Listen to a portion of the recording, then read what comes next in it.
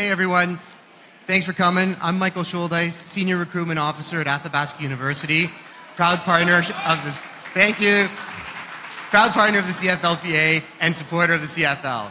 Athabasca University and the CFL welcome fans at Mark CFL Week Fan Fest to a football conversation for the ages. Three generations of quarterback greatness, the legendary Warren Moon, the incomparable Anthony Calvillo, and the dynamic Mike Reilly are going to join TSN's Rod Smith in a discussion about achieving greatness and overcoming obstacles. Athabasca University is a world class leader in distance education, and these football leaders wrote the book on distance, the record book. In total, this trio has thrown an incredible 166,602 yards in professional football.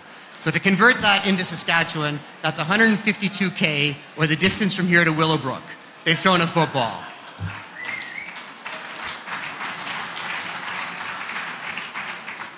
Athabasca University helps students of all ages and backgrounds achieve their goals, and Moon, Calvillo, and Reilly rank among great CFL quarterbacks of all time, and they'll be talking about achieving their goals with Rod Smith in a little bit. Moon played in the CFL and the NFL for an astounding 22 years, throwing 70,553 yards and 435 touchdowns. He won five straight Grey Cups with the Edmonton Eskimos from 1978 to 1983 before continuing his excellent play in the NFL, where he made the Pro Bowl nine times and was selected by his fellow players as a league MVP in 1990. In a 20 year CFL career, Calvillo threw for 79,816 yards, which makes him pro football's all time passing leader when he threw for 455 touchdowns. He was Grey Cup champion three times and CFL's most outstanding player three times and a CFL All Star five times. And as you know, last night he was inducted in the CFL Hall of Fame.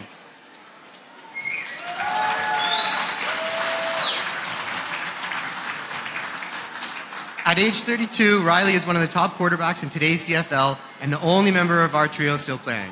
He joined the CFL with BC in 2010 and became a starter in Edmonton in 2013. He's already thrown for 16,233 yards, and including an astounding 5,554 yards last season when he completed 71% of his passes. A Grey Cup champion in 2011 and 2015, he was also lead, uh, the Grey Cup MVP two years ago. Athabasca University is dedicated to the removal of barriers that restrict access to and success in higher education. Despite their incredible achievements, what might be most impressive about Moon, Calvillo, and Reilly is the courage and perseverance, perseverance sorry, that they've displayed in overcoming obstacles that they've faced in their lives and careers. Time and again, Reilly has proved doubters wrong and worked hard to overcome injuries. In college, he was a fifth string quarterback at Washington State before he transferred to a smaller school, Central Washington, where he earned national recognition. He completed 10 of 15 passes in an NFL preseason game, but was released by several teams before landing in the CFL as a third stringer. When he finally got a chance to start a game, he threw for 276 yards and led the BC Lions to a resounding win over the Edmonton Eskimos. That prompted the Esks to trade for Reilly, and the rest is CFL history. But that doesn't mean even his recent success has come easily. In 2014, he played a playoff game with a broken bone in his foot, and the following year, he missed eight straight games due to injury, only to come back to lead his team to eight straight wins. Born in one of the poorest parts of Los Angeles, Calvillo had already beaten enormous odds to make it to the CFL. He was looking to resurrect his career when he joined the Montreal Alouettes in 1998, signing as a backup before he took over the team and reached heights never before seen in the CFL. But the courage shown by him and his family off the field are even more remarkable. When Calvillo's wife Alexia was diagnosed with cancer in 2007, a week after giving birth to their second child, he left the Als to care for his family. He returned the following year to lead the team to back to back Grey Cup championships. Moments after winning the 2010 Grey Cup, Calvillo revealed that doctors had informed him they had discovered a cancerous lesion on his thyroid. Today, as cancer survivors, Anthony and Alexia act- actively support families fighting their own battle with the disease. Warren Moon lost his father Harold to liver disease when Warren was only seven, leaving his mom Pat to raise him and his six sisters on her own. Moon, who excelled in high school quarterback in Los Angeles, went on to the University of Washington, where he warmed the bench for a year and was actually booed by his team's own fans the next season. In his senior year in 1977, he had an MVP season, leading the Huskies to a Pac 8 title and a huge triumph in the Rose Bowl. But the biggest obstacle facing black quarterbacks in that era, racism, proved formidable. The CFL gave him the opportunity the NFL did not. Five years and five Grey Cups later, seven NFL teams bid for his services. Moon, Calvillo, and Reilly, achieving excellence, overcoming obstacles, and likely to inspire all of us as much as their careers have enthralled us. And they talked to Rod Smith for uh, a little bit right now. So thank you very much. Thank you, Michael. One of the great joys I have is working as host of the CFL on TSN, and I am unbiased. I love the league. Just me this one indulgence. I'm here, and this is great. Go Rider! Thank you. I, I was always taught in public speaking the best way to start is to warm up the crowd a little bit, and I couldn't think of anything better than that. You know, normally I would say welcome, but instead I should turn it around and say thank you for the welcome. This has been a remarkable week, and I cannot think of a better place to be talking CFL football than right here in the heart of it in Saskatchewan.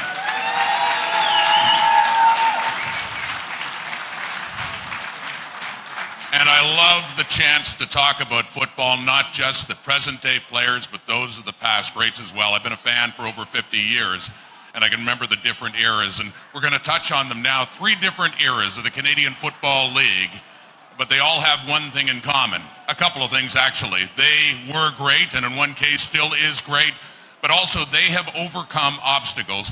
One of the themes here of Athabasca University achieving success and overcoming obstacles along the way.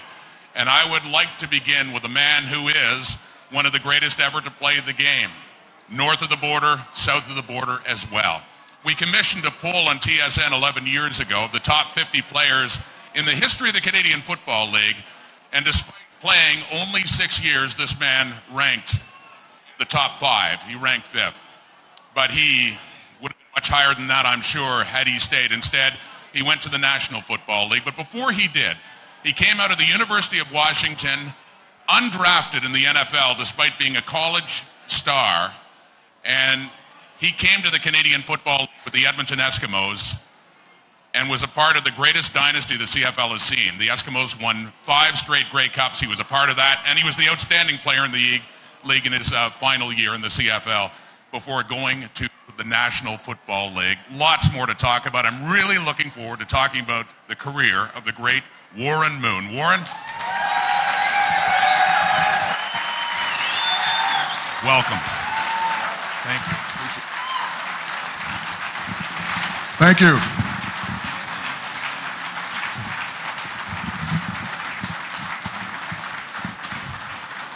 I don't think I've ever been applauded in Regina. Every time I came here, they booed me. oh, we were going to get into that too. So, um, and, and, with our other guests coming up as well, but uh, a, a, remarkable career. And I think, you know, people here, especially the diehard CFL fans, they know what you did with the Edmonton Eskimos. But talk about overcoming obstacles and and your childhood. And I understand you lost your father at a very early age. Just tell me how how difficult are the challenges that you faced growing up and uh, how the sport of football helped you? Well, like you said, my dad passed away when I was seven years old, and I come from a home where I had my mom and I had six sisters, believe it or not. So it was me in a house with all women, and I became like the uh, the mature man of the house at a very, very young age. So I matured a lot quicker than than a lot of boys did at my age, and my mother got me involved in sports just to kind of keep me around other boys, to keep me around mentors, in my life, coaches and that.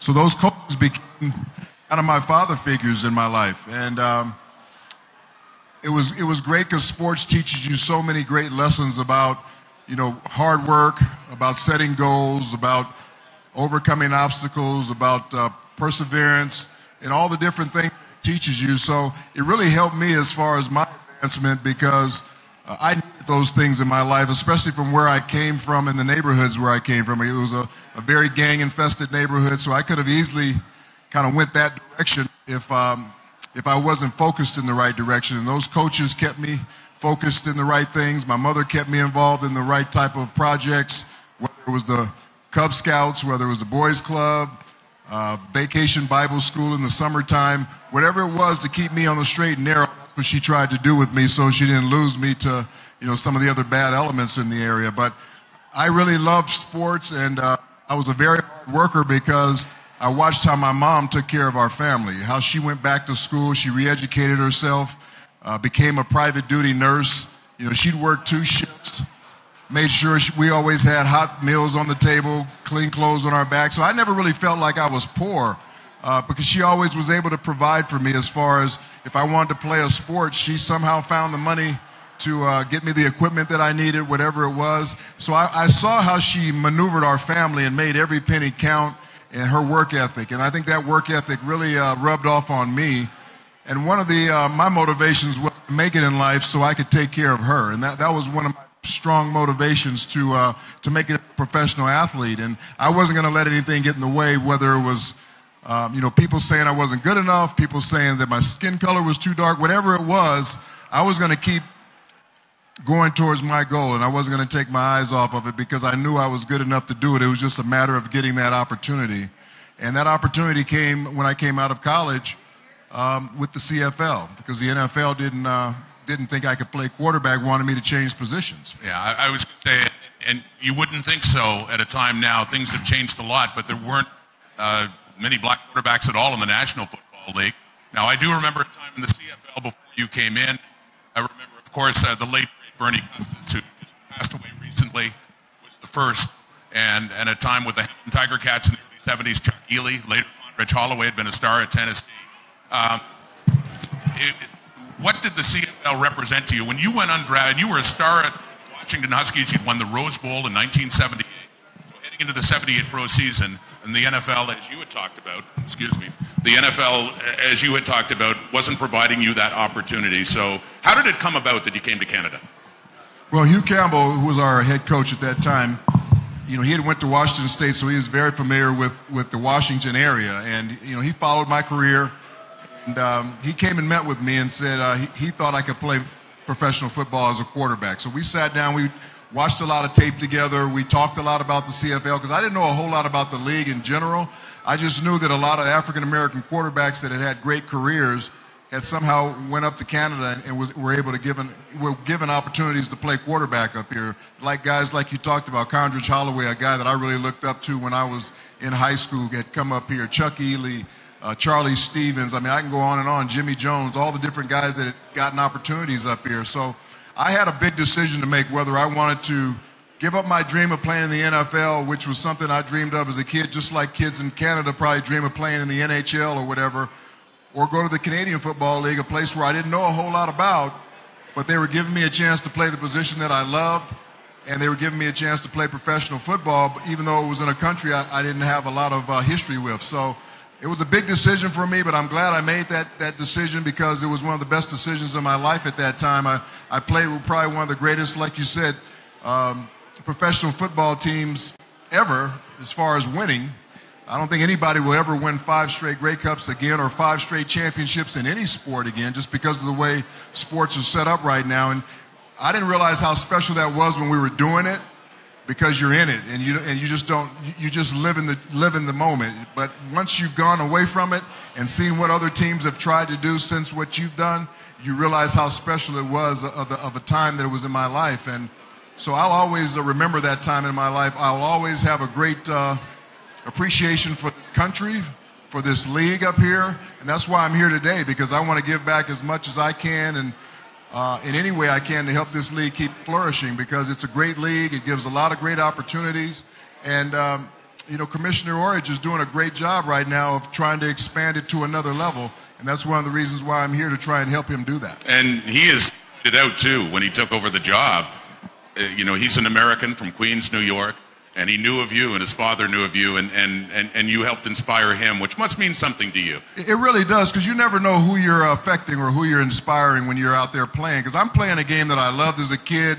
I'm trying to play it the best i can. I'm trying to um, conduct myself in the classiest way that i can as far as my character and my integrity because I know there are a lot of young kids out there watching you. You're very impressionable about how you carry yourself. So I, I, was very conscious of that, but you still never know who you're affecting. And to know that I affected a guy that ends up being the commissioner of uh, the, the, CFL was, uh, you know, was quite flattering to me. And like I said, I'm glad I'm able to, uh, you know, give back to this league because it gave so much to me.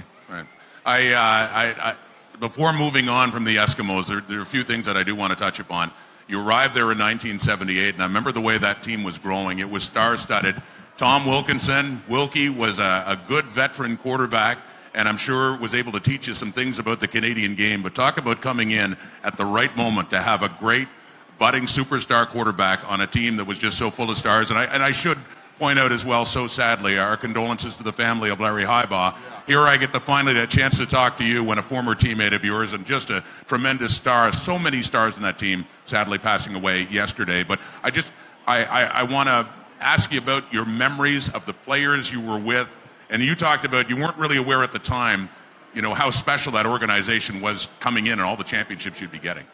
Yeah, it was a great time. And like you said, we had great players on that football team, a lot of veteran players that I didn't have to worry about coming in there as a young player and carrying the weight of the football team on my shoulders. We had great leadership at all different levels. You know, Dan Kepley, our middle linebacker, was a was a very emotional leader. We had Dave Fennell, who was known as Dr. Death. Dr. I mean, Death. he just kind of controlled the defensive line.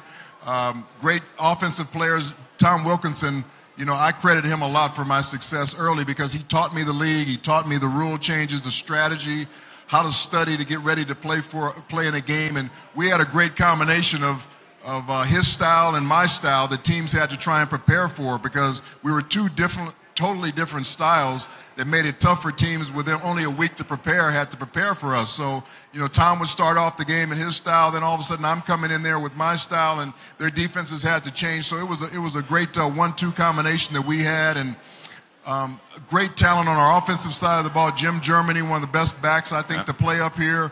I had Brian Kelly, Waddell Smith, Tommy Scott as as receivers. I mean, it was just a a lot of talent on a, on a, uh, a football team that that really knew how to win. When, when it was time to win in a football game, we just had that look in our eyes that everybody knew it was time to step up our game. And when you're playing and winning as much as we did, every stadium you went to, everybody wanted to knock you off. So we knew we had to be on our best every weekend. And it, and it didn't always happen, but when it was time for it to happen, we made sure we stepped our game up and did what we needed to do. And that, that was the great thing about playing for our football team is we were very close on the field, but even closer off the field. We spent a lot of time together, our families in that. So that's one of the reasons why we winning time is what we called it. Uh, whenever, whenever it was winning time, we knew what that time was because of the closeness that we had shared both on and off the field throughout all those years. Uh, when the, the dynasty, as I say, it's remarkable. It starts in 1978 with a victory over Montreal, beating the Alouettes again in 79. Uh, I believe you started after that, or I, I can't remember. I know you played and played well in the 79 game, and, and but started in 80, 81, 82 Grey Cup games. Yeah. And and as I just was just going to say, and as I say, I'm not declaring bias. I was a I was a Rough Rider fan. That was the old Ottawa Rough Riders. I grew up in Ottawa, and I remember a game in 1981, and you guys. And the irony was that was uh, your greatest regular season I think it was. It still remains the greatest regular season by winning percentage in league history. Calgary came close, 14-1 and one, and then you play this Ottawa team that won only five games that year in '81. It was, it was led by J.C. Watts, and they're leading 20 nothing or 20 to one at the half, and it was almost like this great juggernaut. You, are so accustomed to winning, it becomes so routine. I, I don't know. Was it? What was that first half like when you were so one of the biggest biggest favorites, I guess, in Grey Cup yeah, history. I think that's one of the few times we really went into a game a little bit too overconfident that we were such big under, I mean, big favorites in the game. Everybody kept talking about how it wasn't going to be a game because of Ottawa's regular season record. Uh, it was a very cold and kind of a um, sleety type of day in Montreal that, that day, and we had a tough time just with our footing, throwing the football, things like that. And J.C. Watts was all over the place, running around and scrambling and making plays. And we found ourselves down 20 to 1 at halftime, but we went in at halftime, we regrouped. Again, it was winning time, and everybody, we had a couple of guys give up, stand up and give speeches, and, and next thing you know, we went out there on the field and uh, we scored 21 unanswered points and won the football game, and, and uh, that's what it takes. You, you, you've got to you've got to not only have games like we had in, in uh, Grey Cups where we won in like 48 to 15 or whatever, but you're also going to have tight games like that. And, and we were able to win any type of game that we needed to play at that time. And again, that's what made it so great playing on those football teams because it didn't matter the circumstances. We were going to find a way to pull the game out when we needed to. Yeah, and thanks for breaking Ottawa hearts, by the way. We appreciate that. The following year in the rain at Exhibition Stadium, I remember then that was the capped off the drive, uh, beating the Toronto Argonauts 32-16. And by then, the only thing you wonder when it, it must get harder and harder to sustain this thing when a team keeps winning championship after championship? Yeah, we were getting older. We had a lot of guys that were getting up there in their careers. Guys were starting to retire. Guys weren't playing as well because, you know, basically Wilkie was 36, 37 years old. Um, just guys were getting older in their careers. So there's no way you can keep that thing together that long. Uh, Hugh Campbell, our head coach, it took off to the USFL right. with the uh, LA Express. He was no longer there anymore, and and he was he was the glue that kept us all together. You know, his nickname was Gluey Huey as a wide receiver, where he was the same way. Right here in Saskatchewan. Yeah, he was the same way as a uh, as our head coach. He knew how to put the right personalities together that worked for that football team, and we made very few changes throughout the time that I was there as far as our core group of players. We brought in some younger players from time to time, of course, you have to do that. Really knew how to mix and manage all those different personalities and egos that were on our football team, and I think that was another big reason why we were so successful. But once that team started to break up, that's when I knew it was probably time for me to go do something else because I had accomplished so much in such a short period of time up here. It was time for me to, you know, go after some other challenges. And I thought I was going to play my whole career up here, believe it or not. That's how much I enjoyed it. But because of all the success and because I, I, wanted to be challenged more and see exactly what else I could do as a player, that's what, what made me go back to the National Football League, just to see if I was even good enough to play down there. That's something was always in the back of my mind because people had told me that I couldn't, and I wanted to prove to them that I could. Well, I, I want to follow up on that and the move to the NFL. 1982, when the, the run of five came to an end, uh, this man, Warren Moon, became the first, not only in the history of the CFL, the first in the history of pro football, and was back in a 16 game season to pass for 5,000 yards.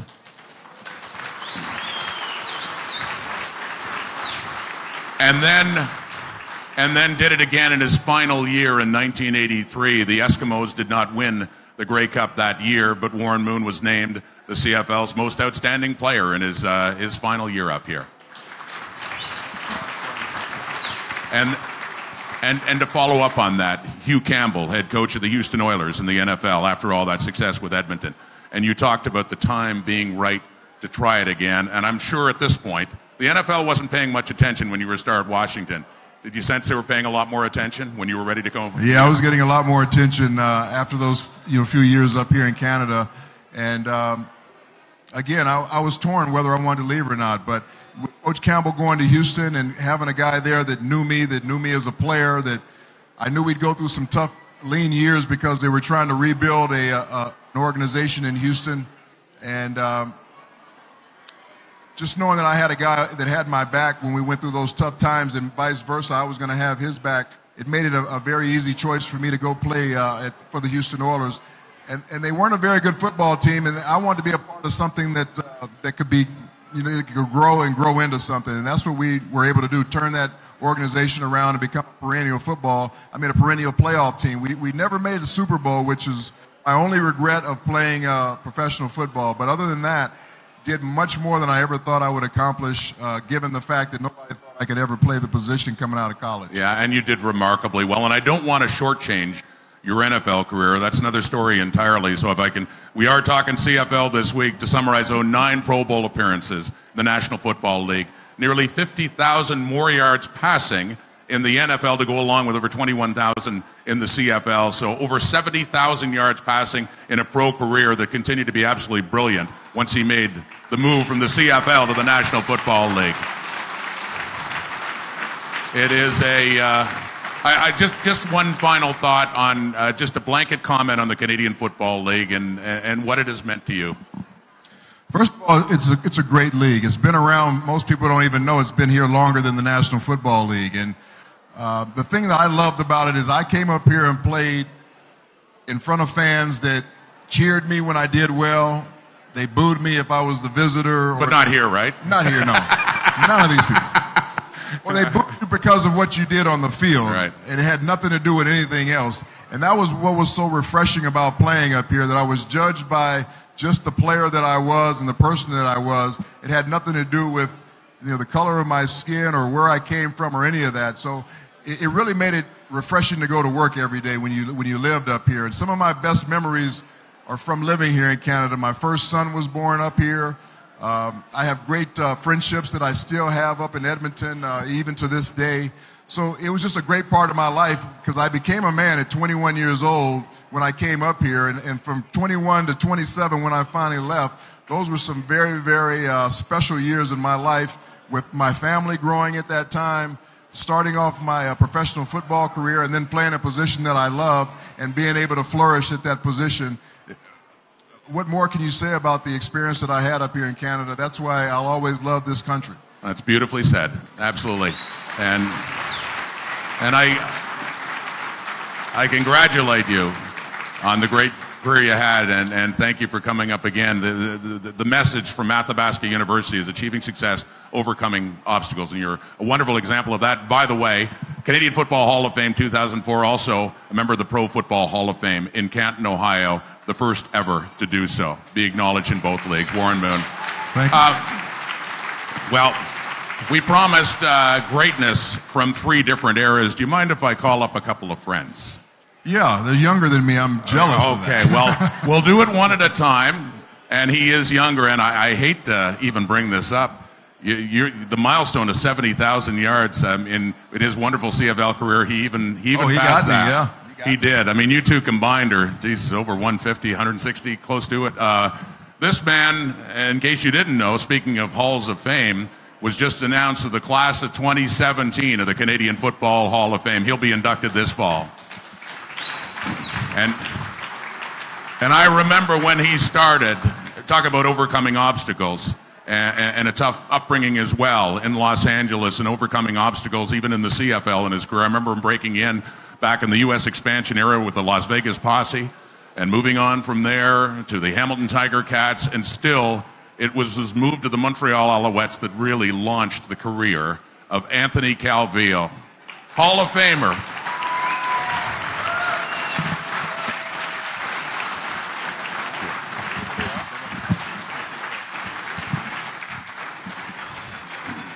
It's, uh, it's an awful lot of passing yardage sitting here. So, some tired arms, man. And and and a couple of guys uh, out of Los Angeles. You heard Warren's story. What was yours? And and and in the early days, uh, what were the obstacles that you had to overcome to get to where you are now? Well, I mean, I was born in East Los Angeles, uh, California, and then when I was about five years old, we moved out to La Puente, and uh, it was it was great. It was the neighborhood that that I knew and didn't know anything else. And uh, in our areas, there was gangs and so forth like that. Guys that I grew up got involved in gangs. My brother uh, got involved in gangs and, and spent uh, 10 years in prison for it. But, um, you know, we were always involved in sports. And I think the big thing for us is when our parents separated when we were about 11 years old and uh, things started to get a little crazy. And then I went in one direction playing sports and my older brother went another direction. But, you know, he's doing well. I love him and uh, got his life back on track. And, uh, you know, those are the things that just learned over the years. Okay. Um, Warren got introduced to Canadian football in the hotbed of Edmonton. you got introduced to the CFL in the hotbed in a different sort of way of Las Vegas. What was that like? Well, you're 21 years old. Uh, we had our football camp. Uh, We actually stayed at the Riviera Hotel on the Las Vegas Strip for six weeks. So you have all these young guys, and we actually practice in the parking lot of the Riviera Hotel as well. So, but again, I'm 21, brand new to any professional sport. So to me, this was all considered normal. My friend Matt Dunnigan, who's on the panel with me, was an understudy of Warren's in Warren's final year in 1983. When you, when uh, Las Vegas folded up and you ended up going to the Hamilton Tiger Cats, I believe he was one of the quarterbacks anyway that you were to learn a little bit more from, and he got hurt and you got thrust into that. Uh, what did it mean after the Ticat years, and where did you think your career was when you ended up moving on to Montreal at that particular point in time? Well, I remember I was young and I was stubborn. Um, I had a chance to learn from Matt Dunnigan, uh, Mike Kerrigan, Steve Taylor, but I didn't really listen to them. And uh, being a young guy, I was competing against these guys, and I ended up beating out a couple of them. And I just figured if I could beat these guys out, they have nothing to offer me. And it was a huge mistake because in my last year in Hamilton, uh, 1997, we went two and 16, and those two wins, I didn't even play in those games. So it was very, very difficult. And you know, I was kind of like a like a, a, um, a very important point in my career, and I ended up going to Montreal and finally took a step back, started learning and understanding the game. Great, and a guy named Tracy Ham. Tracy Ham around there, and a, and a Hall of Famer in his own right, of course. That's it. Yeah, things changed. You had a couple of years watching him, and then you emerged. And and I asked you this last night. Could could you have imagined what was still to come, and almost a rebirth of your career as an Alouette? At that time, I was just trying to gain the trust of the locker room. That was the biggest thing. I mean, uh, as a quarterback, you need that trust. So I had to develop it, get on the field, and prove to the guys. Yeah. Um, and the way it all capped off, I, I remember too, and, and talk about overcoming obstacles as well. You mentioned all those things, but one other defining moment I remember of your career off the field is taking time away from the game when your wife was ill. You yourself announcing after winning a Grey Cup about your own illness. Um, how has all of that made you stronger, and how has that made you appreciate your journey to where you are today? Well, I think there's a few things that happened in my life that made me relax and understand what's important. One was getting the other was having a first child. But then when your wife is going through cancer and she's fighting for her life, you realize, okay, game is fun, but it's not the most important thing in the world. So, uh, so it relaxed me a lot. I was able to go out there and just focus and enjoy the game. And then I diagnosed cancer 2010. Same thing. I'm like, this is ridiculous. I'm going to go out there and, and enjoy this game. Thank you very much. We did get, we did get most of that, but uh, but but listen, I mean, uh, a three-time Grey Cup champion. Uh, we won't mention a couple of uh, the games where you won the Grey Cup. We're just gonna we might put that on hold for a little bit here. That's another another segment entirely. But You got listen. your heart broken a few times, didn't you? well, no, this this time it wasn't me. This time, yeah. Oh, yeah. Well, that's you know what? Well, as I say, we'll sorry, we will talk about this a little bit here, but we want to bring out someone else. AC, congratulations, so richly deserved getting into the Hall of Fame Thank as you well. very and a much, wonderful. Thank you. wonderful career. Yeah. The pro football's all-time leading passer in just under 80,000 yards. Absolutely uh, remarkable. Well, we do have someone else to bring out, and his passing yardage totals don't quite match up to these two gentlemen, but he has lots of time. And the way he plays, the kind of shape he is in, um, I'm hoping that I get to talk about his Hall of Fame career when he hangs them up, in around 2037 and gets put into the Hall of Fame. We'll see. Uh, please welcome. He is a Grey Cup MVP, and uh, he has another interesting story to tell as well. Current quarterback of the Edmonton Eskimos, Mike Reilly. Mike?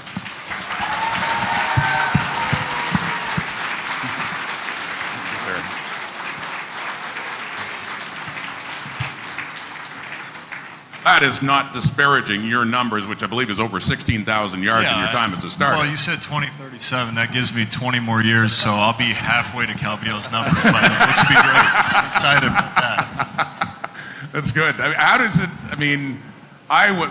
One of the things I like. I notice this a lot about football is um, you come into a sport, you come into a league, and and you tend to appreciate those before you and learn what they've done. I mean, when you arrived in the Canadian Football League, or especially in Edmonton, in the case of Warren Moon, but saw what AC was doing just at the end of his career, how much do you appreciate those who have really helped the evolution of the quarterback position? Oh, there's no question about it. The two guys that are sitting here um, are guys that I've, I've looked up to for a long time. Um, you know, being a kid that grew up in the state of Washington, um, I didn't know anything about the CFL when I was growing up, but I knew a lot about the Seattle Seahawks. So obviously, Warren Moon was the guy that uh, we all watched and, and just got super excited every time he was on the field. So um, then to come up into the CFL and get my first chance to start with the Edmonton Eskimos, uh, if you're going to play quarterback in Edmonton, first of all, you're not going to wear number one. No one is. I guess that one's gone now. Right? And, and secondly, you're going to know who Warren Moon is, and you're going to know Yeah. uh, that you're never going to fill those shoes. So you're Right. just going to try to try to make your own way. Right. Um, Well, if you want to be the greatest 13 ever, by the way, you. you know, well, you that's still- probably unattainable as Well, well. I wouldn't but say- I will say We're not saying that. Just that, saying there's uh, still there's still a ways to go, You know, right? I've worn 13 forever, and probably because it's always available, nobody wants to wear it. It's like an agree. You- you number, agree? right? So Agreed. Yeah. you, you're never going to have to pay a veteran to get that number. It's always available. Right. But when I came up here, um, again, I, I was just learning about the CFL, and Montreal was was on top. They were the team to try to beat. Um, you know, they had just finished winning their, their second Grey Cup in a row. Uh, I heard we're not supposed to talk about those Grey Cups around here, but anyway. Uh, and I remember seeing I'm like, man, this guy is clearly the best in the league, and he also wears 13, so I already like him. Like, you know, he, he's doing that wearing that number. He's confident, but. Yeah. Um, you know, it was it was a pleasure to be able to watch him play in person. Um, I only got to play against him one time. We lost, of course, but um, you know, it, these these guys are are you know the best to have ever played it, and uh, you know, we I wouldn't have the opportunity that I had to play in such a strong league if okay. if they had. What's going on here? Yeah. Might need another mic replacement. We'll see. trying to sabotage me. Not man. you, Mike. Microphone. Uh, yeah. They, What's they up? got me We're not first. replacing you. Some Yeah. of these TS man. No, it doesn't have that. Um, yeah, I. Uh, they have interesting stories of, you know, inspiring stories of perseverance. So do you.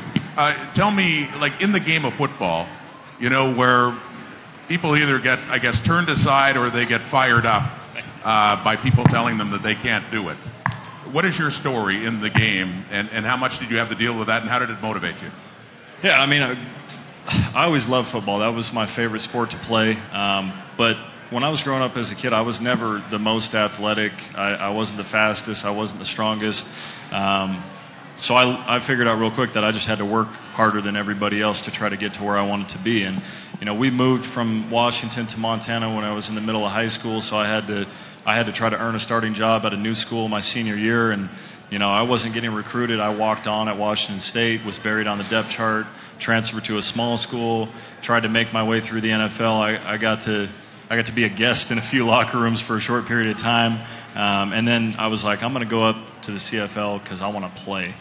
And so that was my expectation. And I, I went up to the CFL and found out real quick, nope, you're going to be number four on the depth chart. So, um, but that's what I love about this league too, is that nothing's given to you right out of the gates. You have to earn everything that you get. And so, you know, I spent three years learning from a, a very good friend and a great player in Travis Lulay, and that time helped me to develop. But you know, that was a rocky point in time too. I mean, Wally Buono would be the first guy to tell you that he was about to cut me like four different times. I was going to say, you were. Did you come down to one play or one drive that you thought might have made the difference? Yeah, for playing? sure. I mean, it was in the preseason against Saskatchewan. I think I've told this story a lot, but um, you know, I I was in camp as the number three, and then you know they bumped a guy in front of me on the depth chart, and I had one opportunity to prove to Wally that I was capable of playing. Um, you know, but that's how it is in our sport, in our business. The oppor- you don't know when the opportunities are going to come, and, and honestly, if you if you don't take advantage of it the first time, you may not get a second chance. So, um, you know, I don't I don't think my story is much different than anybody else that's played professionally because you you got to take advantage of that opportunity. Otherwise, you don't. You're not going to be in this league. So uh, you got to be ready for it. And um, you know, thankfully, I was. But uh, it doesn't change. You know, even though you've battled through all that stuff in the past to get to where you are. In our business, you got to continue to prove it every single year, and so I, I just try to continue with that mentality to be ready for those opportunities. Yeah. Uh, what do you think of the idea of winning five Grey Cups in a row? It was hard enough to win one. sickening. It's very sickening. well, listen, listen, Hall of Famer, Hall of Famer, and I would be shocked if you're not ending up in the Hall of Fame as well, the way your career's been going so far. Mike Reilly. Thank you, Mike. If, if, if, if the three of you can just spare a few more minutes, there's a few things that I would, I would love to ask you, beginning with uh, where we are, and it's just the perfect place to be. If you're going to come and talk CFL in March and people are going to pay attention, this is just, a, and this is not to knock Edmonton or Montreal or, or any other city, but Saskatchewan has, has just been fantastic this week. And uh, since none of you played for the Riders, I want to ask you what it was like to come and play against the Riders. What was it like to come to old Mosaic Stadium at Taylor Field, Warren? Yeah, this is one of the places I hated to come play during the season, and it wasn't it wasn't so much it wasn't so much because of their football team. It was more because of these people right here, annoying people right here. I mean, from the time you got into town and got to your hotel, it didn't matter. They were in the in the lobby giving you the business. They're uh, getting off the bus, going into the locker room. They're giving you the business, and then when you come out on the field, I mean, it was what 35, 39,000 people, but it sounded like it was 80,000 people out there. Then you had to deal with this wind coming off the prairie, you know. So me as a passer having to try and throw the ball against this wind. I remember one time uh, Hank Ilesic, who we had as a punter at that time, one of the best punters in football, he punted the ball and it went down the field about 20 yards, and then it came back the other way and ended up being a minus yard punt. I mean, that's how strong that wind was. So every time you came into this place, you had to have a strategy of when you had the wind at your back, you better score some points because once it was in your face, you probably weren't going to score. And that was our strategy to try and get ahead when we had the wind at our back and just hold on when we when we didn't have it. AC. Uh, I think Warren got it got it right. I mean, there's a lot of things you have to be concerned with, and I know for us, we have always had to quiet down all our emotions. We like to move people around, but here, it was so loud when the offense was on the field that you could not do a lot of motion. And what's crazy is when Saskatchewan's offense was on, you guys just kept quiet. You could hear a pin drop in that thing. So I've always said that you guys were the most intelligent fans crazy fans that you guys are, but you're passionate. And uh, I always enjoy coming here. I really have. Win. Well, I didn't. win, no win, because I knew that that coming into this uh, into this stadium, if we won these games, it was a hard fought uh, win, not only against the team but also against the fans. Pick it up, Mike. You've had enough experience coming here. Yeah, no, it's uh, everything these guys have said. I mean, you guys are annoying. I think Warren pointed that out. no, I, I, I, love coming here too. I, I, love to play in this city um, because that's what gets you excited about football. You know, if you're going to go into a visiting stadium and there's no energy in there, you know, it's hard to get amped up and get ready to play. But you know, the second that you walk on the field they're going to be yelling and screaming. You're going to feel the ground vibrating. You're not going to be able to hear yourself think. Um, and as a team, you know, kind of as Anthony said, you better be on point because you, are going to have to use silent count, silent cadence. You're going to have to tone your motions down. Um, but your communication is just non-existent. So if you guys aren't on the same page and you didn't have a locked-in great week of practice, you're not going to be successful. So you know it's it's hard enough it doesn't matter who you're playing. It's hard enough to win a football game every week in this league, um, and then you add the crowd that you have to battle against and the wind conditions and all of that. Um, you know, it, it's a very tough place to play, but it's a great place to come and, and play a football game. It's yeah, remarkable, absolutely. The fan passion, of course, everything else, and it's funny you talk about the wind. We did a game, uh, oh, four or five years ago, when Chris Milo was kicking, was punting for uh, the Riders, and uh, that wind was gusting that day and you talk about this is the opposite of Hank Ilesic. He hit the wind at his back, and he hit it well, about 50 yards, and it went over. Uh, I think a Hamilton Tiger Cat return man, and it rolled and it rolled and it rolled. It went from one end zone to the other. It went down in the books as a 108 yard punt. I thought it was just going to head all the way across the border. But uh, just one other thought about three Americans coming up to play a Canadian game, used to playing American rules, smaller field, four downs. Uh, what was the biggest adjustment? What did you think of the Canadian game, whether you liked it or didn't like it? What, what was it about the game that you had to adjust to?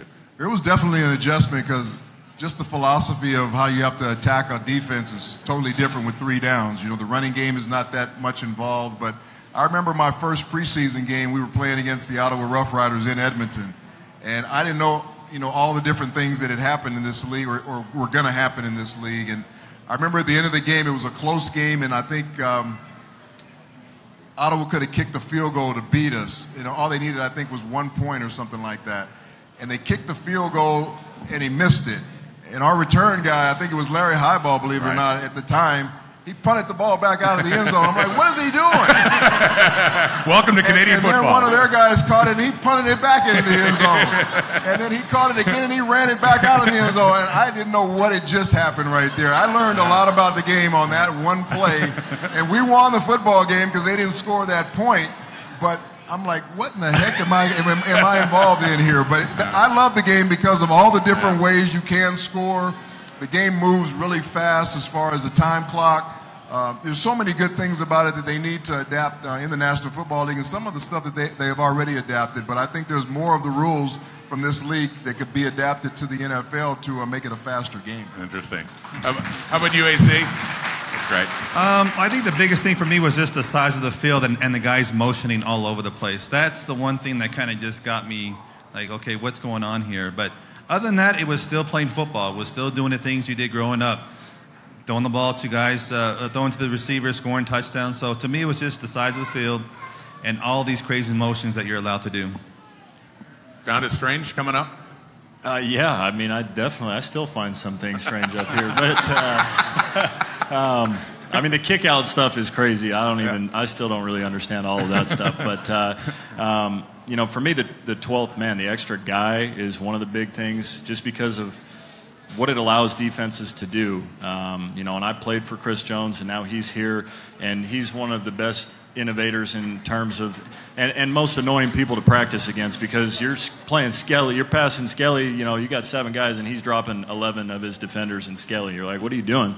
But they can run so many different coverages that you got to be really good at, at not just pre-snap stuff, but you have to be able to make decisions on the field and get through your progressions. And that's the other part about it is with only three downs as the quarterback, the only way you're going to be successful is if you're an efficient player. You have to you have to be able to move the chains consistently. Field position is so big in our game, and you know I didn't get to watch Warren play up here, but watching Anthony, that's what I I always couldn't understand how he would be reading one side of the field and it's not there, and it was like a no look flick to his back out of the backfield on the other side, and the guy's going for like 20 yards, and I'm like. Well, that must be nice to be able to do that. So, um, you know, but it, it's it's hard as a quarterback. There's there's a lot of changes that you have to get used to. But again, as Anthony said, it's still football. It's still drop back, read the defense, and throw a ball and let's go score.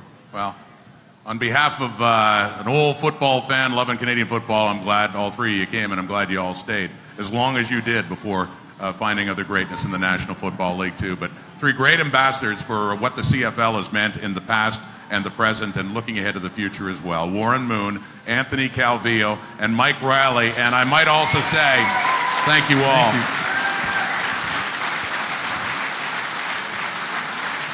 Uh, I'm also pleased to uh, say there is another big football fan here as well. The Premier, Brad Wall, wants to come up and, uh, and say a word as well to these guys here. Mr. Premier. Budget. Hey, That's ridiculous. they- Come they on, we're not, the- we're not in the field right now. How are you doing, Anthony? How are you doing, Mr. Moon? Good to see you. man. Good to see you. Uh, if I could just say very, very quickly, on behalf of the province, how grateful we are to the league uh, for uh, bringing this event here this week. Uh, I just want to say this: so the CFL, in many respects, thanks, Anthony. The CFL is defined by distance. Um, the distance between our sidelines, the distance between our goal lines, and the great distance between our CFL cities. But there's a more important measure, a more important distance that we all noted very well here on the stage, and that's the short distance between the players, legends, and the fans. I think that's unique to our league, and it's, it's because of you guys that that's the case. I just also want to point out that for me, a defining moment, the most poignant moment as a CFL fan, was when you, Warren Moon, made your speech at Canton when you were inducted into the Pro Football Hall of Fame. And the very first thing you said was to thank Canada and to thank the CFL for the chance to play uh, professional quarterback. And you know, there is only one undrafted quarterback in Can- at Canton in that Hall of Fame. It's Warren Moon, and I think CFL fans in Canada can take some credit for that. So, to all of you, thanks for your example. And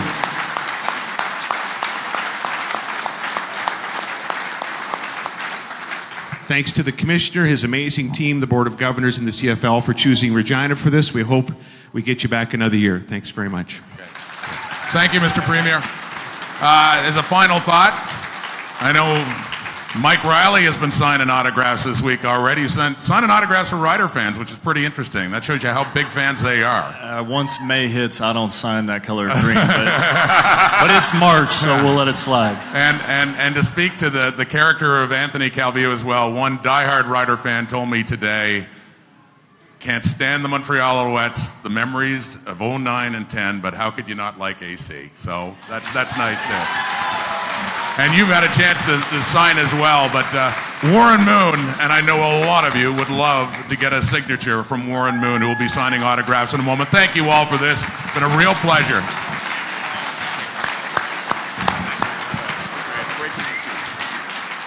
Thank you. Gentle, very gentle. What's that?